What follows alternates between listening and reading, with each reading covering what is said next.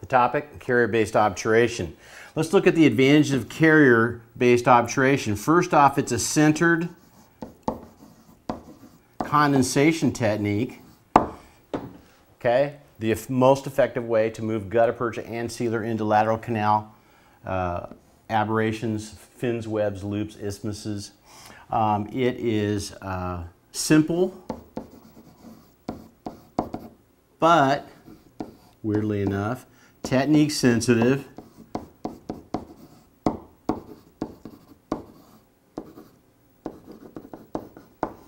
Easily managed, but if you don't know, you're going to have problems.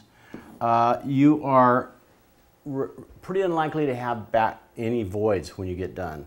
Um, if you use the uh,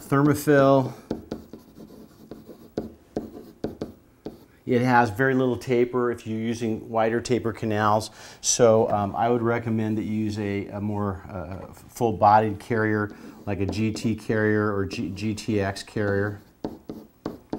And uh, so because they fit so ideally, there will never be a void. That right there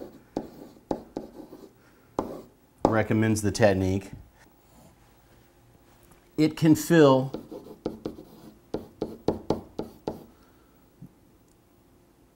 far ahead of the carrier. Okay, now we'll come back and talk about how that comes to our advantage. Um, carriers have a certain tip diameter, certain taper. They have a handle. Um, ben Johnson invented them. Called Thermafil. And uh, this has gutta percha on it when it comes out of the package. It also has little length marks. This is 18, 19, and 20. This is 22 millimeters. This is 24 millimeters. The handle is 25 millimeters. They don't. They only have one length of these. And if you look on the handle, there are score marks a millimeter apart. So if you're in a 30 millimeter cuspid, this handle will go alongside of the cusp tip um, and uh, you can mark on the handle of the carrier what the length is that you want to. So uh, the first thing we do when we take it out of the package is we're going to, uh, actually this looks like this. It's got a big bleb there from the, the method of manufacturing. Just take that off. Um, if there's a big bunch of gutta percha ahead of the carrier, turn it around. Sometimes you usually see the carrier on one side. Uh, if there's a lot of gutta percha ahead, you can just take that off. We're going to want to set the stop within one millimeter. Okay, I set them a millimeter short, others set them at length. That's not the most important thing in this technique. Um, I, my experience and uh, my friend Bob Sharp's experience when he did his research on this was when you have the carrier millimeter short, the fill is ideal because there's usually a gutta percha and sealer front ahead of it if you've done it correctly. I'm sorry, the first thing here is uh, remove unneeded gutta percha. When you remove this bleb right here, uh, and, and even further down uh, the carrier, that's going to be less gutta percha that ends up in your pulp chamber. Okay, if you have a multi-canal tooth, it can be a little hard to find the second canal. Um, and if you want to be really clever about it, go ahead and set the stop. Get it, put a plugger, uh, put a stop on your plugger, put it at the orifice level, pulp chamber floor, set the stop at the reference point, measure it, it's usually 9 to 11 millimeters, and then you simply put the carrier on and measure down from the very tip uh, that length. It might be here. And then that means you can use a blade, cut there, remove this gutta percha and only have the amount of gutta percha for the canal length. Remember, like a 25 millimeter canal is only usually 15 millimeters long, okay? Um, and then we're going to uh, set the oven cycle. Okay. If you're using uh, or anything with that kind of a taper, that would be Guttacore, that would be uh, Softcore, all those others. Then you're going to do short cycle and fast introduction, fast placement. Okay, if you have a more tapered plugger like a GT, GTX, then you need to have a longer heating cycle.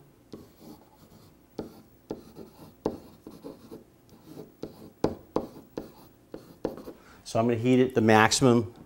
And then I'm going to uh, place it to, to length slower. This is about a three to four second placement. GT GTX is more like a six to eight second placement time. Why is that? Because we have a fuller shape in the carrier. There's a smaller vent space between the canal wall and the carrier as we reach final position for the surplus gutta percha to escape coronally. If we, it's viscous material. If we move faster apically than it can escape coronally, it will be shot out as surplus. So we don't really want that. Slower, and I actually count to myself as I'm setting it. Um, I will put it to mid-root in one second and then slow down progressively until I get just to the end. Okay, the next aspect of this is sealer placement.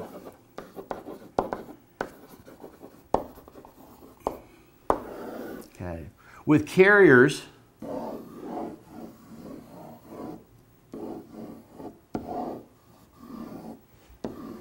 with carriers, as soon as you put the carrier right to the orifice level. Here it is. And the gutta percha is alongside of it. Out here, it's like this. We have effectively created a seal. It's like a squeegee. And if you have a whole load of extra sealer in here, it's going to shoot it out the end like, you know, it's going to look like a shotgun blast. So we can't have not too much sealer. How do we uh, prevent that? By blotting. Apply it and blot. You can apply it with uh, a little micro brush. You can apply it with a paper point. The trick is blot it with two or three paper points afterwards. If you see the paper point is coated with sealer, that probably means it's in filling the lumen of the canal and you're going to have a lot of surplus.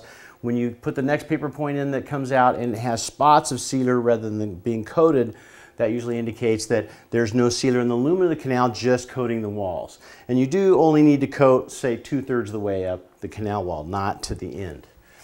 Um, the worst thing that can happen is not enough sealer. If you don't have enough sealer in there, then the carrier will go up with the gutta percha, and when it runs out of sealer, the gutta percha can no longer move, and so the carrier continues to the end by itself. Okay. Another reason I like to have my carriers a millimeter short is if I fill with a carrier and I see that I'm a millimeter short, I know there's also no sealer there. So I'll just pull it out, put my shaping file to length quickly, recoat it with sealer correctly this time, and set another carrier in place. Um, if you just put a ring of sealer at the orifice level, which some people do, much of the time that'll work perfectly. The uh, squeegee effect will push this little ring of sealer ahead of the carrier and the gutta percha and if there's enough it will get right to the end and nothing simpler. The problem is if you don't have enough, you have a long enough root or you're a little too chintzy in putting the sealer there, you get part way up, run out of sealer and then the carrier's on by itself. The last part is cutting the carriers. Uh, I like to use a Prepi burr. It's a non-fluted high-speed round burr and uh, you spin in a high speed and they come in six different sizes. You pick one that is going to be smaller than the orifice you're plugging and then you'll get a nice little dimpled cutout. The great thing about the Prepi burr is because it doesn't cut, it will not ding your perfect looking access cavity. Um, you may cut the first carrier after placing it if you have a multi-canal tooth. You're going to have problems with the adjacent canals because when you cut the carrier with the Prepi burr, it's going to throw some uh, plastic debris around, so you better have paper points in the adjacent canals if you're going to do it that way. You can also have paper points in the adjacent canals, set one carrier. I, when I set the carrier, I'm going to hold the handle carefully. I grab a cotton plier, pull the, the stop up to the handle, then I take the cotton plier, grab this, the stock or the shank of the carrier in my cotton pliers, break it back, bend it back and forth until the handle and the stop come off together, and now I have room. The stop and the, and the handle are no longer in the way for my second third, or even fourth uh, carrier to come in place. I'm asked what the applicability of carrier-based obturation is. What kind of cases can we use it in? What kind of cases uh, does it not work so well in? If we need a post space, if you do both of those techniques, there's nothing easier than fitting a cone, down packing, separation burst, condense that apical mass, you got to purchase, there's no backfill. And you already have the backfill space roughed out. If you use a carrier needed post space, I'm thinking you're going to be much more successful next appointment or one hour wait to cut off the carrier. If you use burr or anything else and you cut that carrier and disturb it, it's going to, it's going to degrade the quality of the seal. It's going to change the sealer. It's going to mix everything up. It's not good. So next appointment or one hour wait. The alternative is continuous wave there if it matters. Now, we're going to talk on one of these topics about uh, post or no post. Uh, in most posterior teeth, especially molars, posts are uh, typically not necessary. Um, one application of carrier-based obturation that is uh, superior to all other filling techniques that I've ever used is filling past impediments. Okay. You've got uh, most impediments occur in the last millimeter. On occasion, you'll have something like this. I, I had a case like this. And this is, the file wants to stop right here, but you know that you have millimeters, literally millimeters of canal space beyond the impediment. Um, in the case I'm talking about, you've probably seen it in my lecture, I was able to shape the whole canal with bent files, but I could never get a gutta percha cone fit past there. And because carriers push some amount of sealer and gutta percha ahead of them if they're done, used correctly, um, I just did the technique opposite of my normal technique. I put it, instead of six to eight seconds, I put it in in three to four seconds. I did not blot the uh, sealer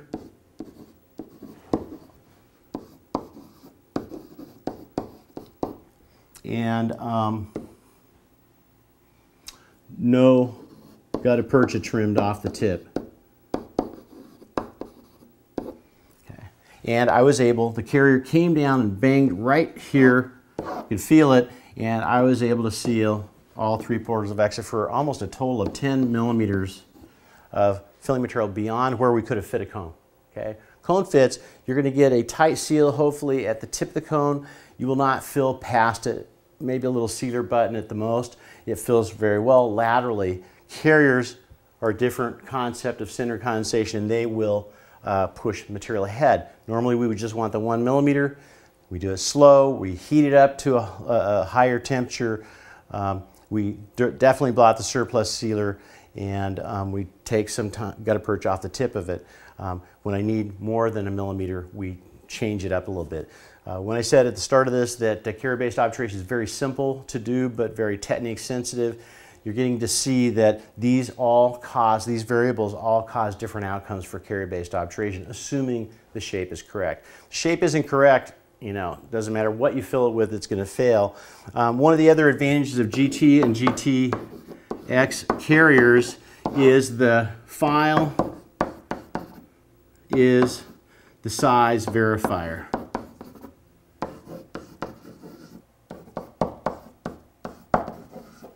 Okay, so you don't need to check. You know if these files fit and they made that shape and that carrier or one size smaller. One of the other things I meant to mention about carrier-based obturation is uh, one, even two sizes smaller in carriers uh, can still do a really nice job filling uh, root canals, all things considered. Um, very three-dimensional uh, uh, method. Um, I'm a fan of centered condensation. I use both continuous wave obturation and I use carrier-based obturation and uh, see very th- three-dimensional results.